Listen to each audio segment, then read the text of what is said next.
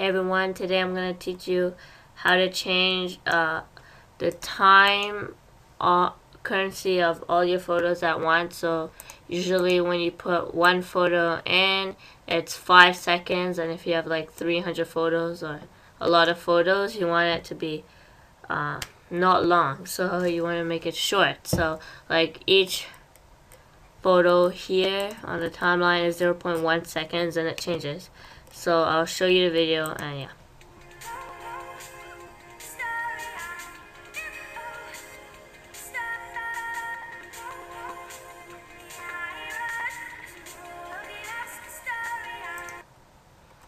Okay, so you uh, get it, right? So you want to do that.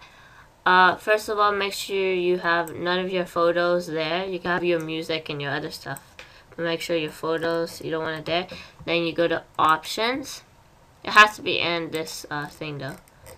Uh, you go to op uh, options preferences editing. Then you go to new still image length brackets seconds and you change this. So usually it's 5.000 but you want to change it to like 0.1 like mine how fast mine goes.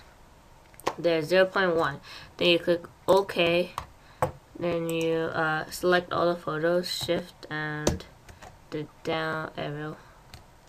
Make sure your music's not there, just the photos. And then you got them, so just drag it in there and you have it.